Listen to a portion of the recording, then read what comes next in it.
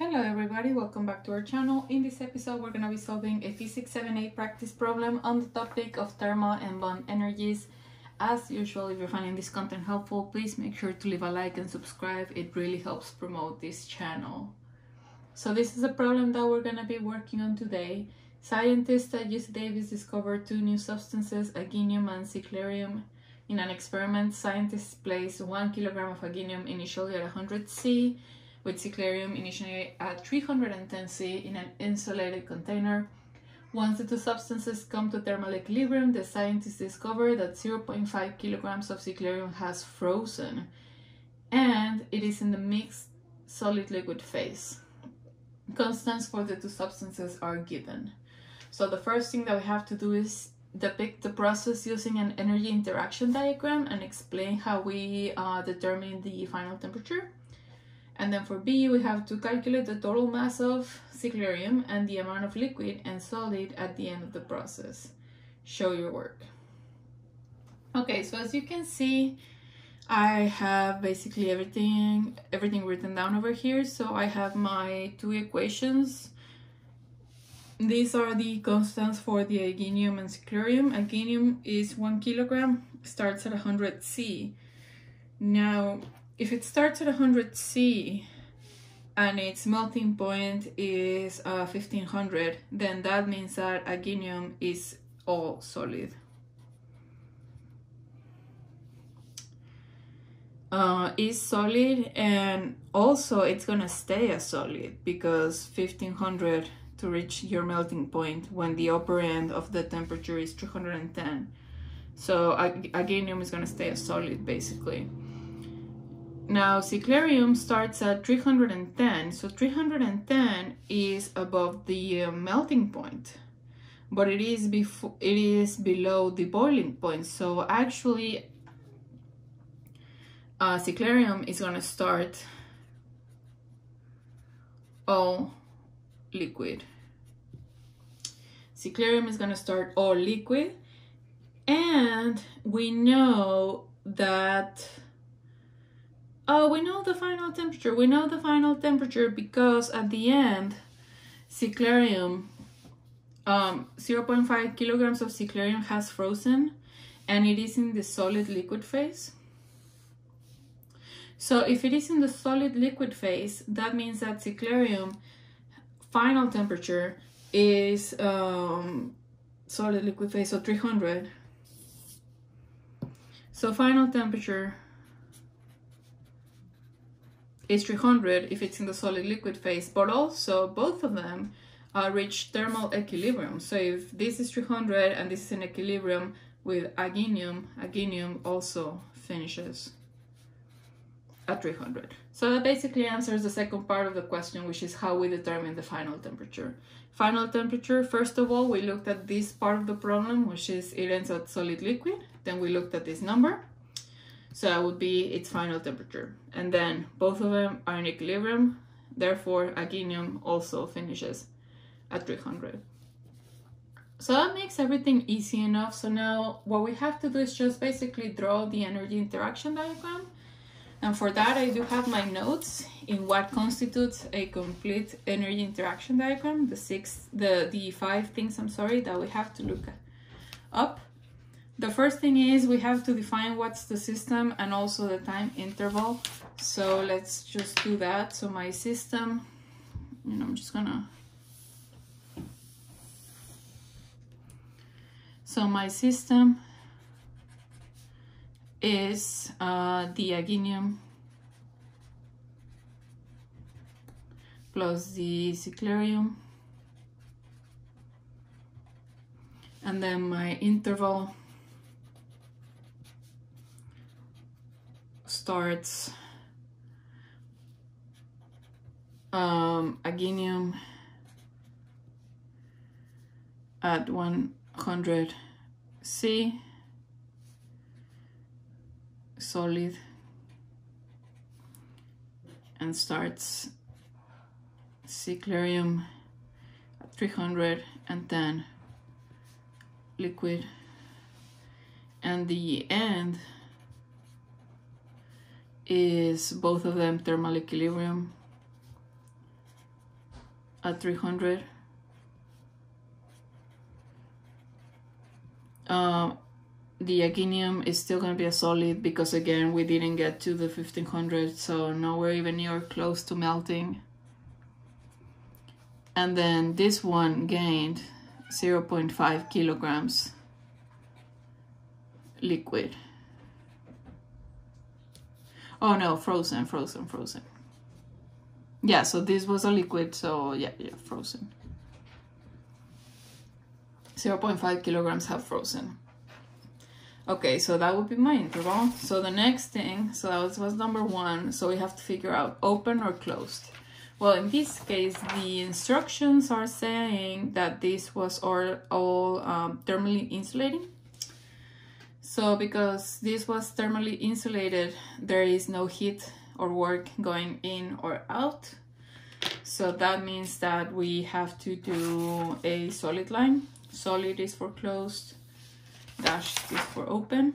So let's just go ahead, put a big circle like this.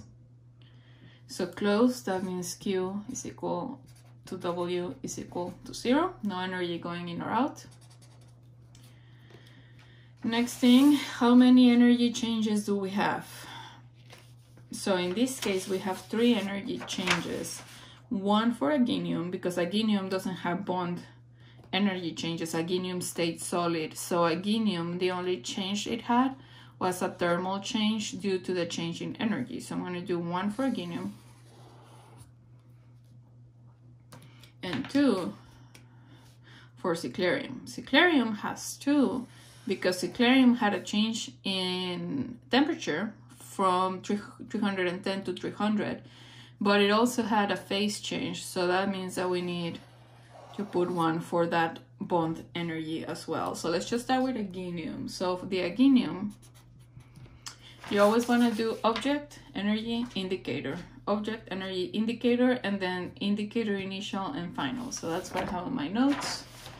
So that's what I'm doing. So aginium goes here. Aginium changed in E thermal and it went up because the indicator, which is temperature, went up uh, temperature initial for aginium was 100. Temperature final for aginium is 300. So as you can see, it went up. So now uh, let's do the 10 degrees first. So for cyclerium, E thermal went down because temperature went down the initial uh, temperature for cyclerium was 310. Final was 300. So as you can see, it went down. And now we do the bond energy for cyclerium, uh, which accounts for the uh, change in transition.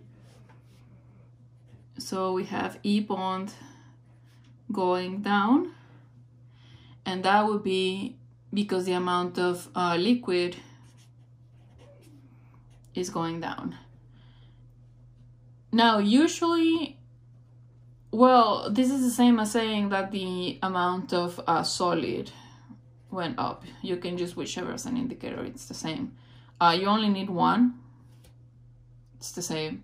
Uh, the only reason why I'm choosing solid is because I don't have how much liquid you had at the beginning and at the end. I just know that the amount of solid initially was zero kilograms and then the amount of solid uh, well the mass of solid final was 0.5 kilograms because this is the number that we have we don't have the liquid one so I'm choosing to do solid again doesn't matter, but this is the info that we have. We don't have an info on the liquid. Um, all right, so now what do we need to finish this? So each bubble should have object, type of energy, indicator, and an arrow. Yep. Below the bubble, yep. Okay, so now we just need the equation. Uh, one term per diagram bubble, and all of the changes have to be equal to um, Q and W. Okay, so in this case we we only have three bubbles, so this is just three energy changes. So let's do this bubble. This would be change in E thermal for AI plus this bubble, which is change in E thermal psi plus this bubble, which is changing E bond um, psi, and this is equal to zero because this is a closed system. There is no Q, there is no W. So this is my complete uh, energy interaction diagram. It has the five things that they need to have in order to receive full credit. Um, definition of your system, which includes the interval, your bubbles, open or closed, your equation. Looks good. All right, so now uh, for part B of the problem, calculate the total mass of cyclerium and the amount of liquid and solid at the end of the process. Show your work. Okay, so like I said, the problem never gave us the amount, the mass of cyclerium. It only says that out of that mass that we had initially, 0.5 kilograms end up being frozen. But like, I don't know if the total mass was 5 kilograms, 10 kilograms, 20 kilograms we don't know, right? So that's what we have to figure out. The good thing is that we have an equation over here, so the only thing that we have to do is basically expand this equation, substitute these values, and we should be good to go. So I'm just gonna write the equation down here because I run out of space. So I'm just gonna start, I'm just gonna copy this over here so we can look at it again. So change in E thermal AI plus change in E thermal psi plus change in E bond psi is equal to zero. Now, what am I gonna do? The quiz gave us the equations, so I'm basically only gonna substitute these two equations. So change in E thermal for AI is we're doing with AI, this is the aginium, so this will be mass of the aginium times C of the aginium times delta T of the aginium. Now for this one, this should be mass of psi, and this is what we're looking for. So this one's important, times C of psi times delta T psi and then this one, this is bond, so we are gonna go with bond. Uh, in this case, we're gonna do negative because we lost it. So, uh, okay, so let's see. So let's just go ahead and make this a negative because we lost this energy. So this is um, change m psi delta h psi. This has to be equal to zero. This is what we're looking for and everything else I believe we can just substitute. So let's see. I'm just going to start substituting mass of AI initially we had one kilogram. C for AI I'm just looking at numbers here. So one kilogram uh, C for AI is um, 2 kilojoules. Everything is in kilojoules? Yes. So I can just go ahead and do 2 yes I can.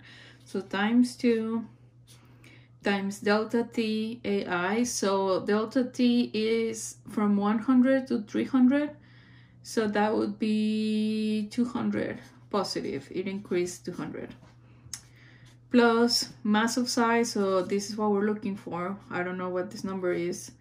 Times C of psi is 5. Delta T is 310. Initial 300 final this is actually negative 10. Like this.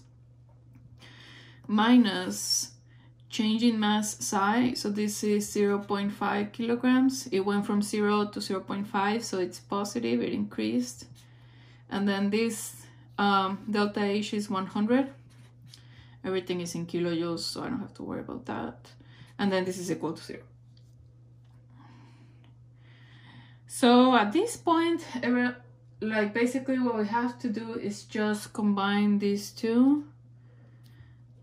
So let's see.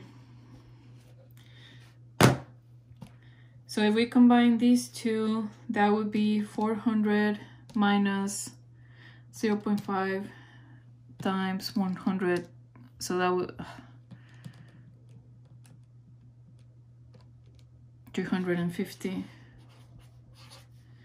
and this is minus 50 mass psi and this equal to zero so if I just solve for mass psi the mass is equal to 7 kilograms so this is total however the question was saying calculate okay calculate total mass and then calculate the amount of liquid and solid at the end of the process. Okay, so this is, let's just be clear that this is total. So now if it's 7, 0 0.5 it's frozen. Okay, so that's what's given to us. Uh, mass of psi solid 0 0.5 kilograms. This is just instructions. I'm not really doing anything. Then that means that the amount of psi that remain the liquid is um, 6.5 kilograms final answer. So once we find the total mass if we know what's the mass of the solid it's very easy to find the mass of the liquid at that point. So anyways this is the end of our problem. I hope that you guys found it useful. I thought it was very good practice and an appropriate level of challenge for somebody who's you know practicing for that final exam maybe midterm. Uh, so i hope that you guys have found this useful. If you have please make sure to leave a like. If you have a question just write it in the comments. I'll try to get to it and i'll see you guys in the next video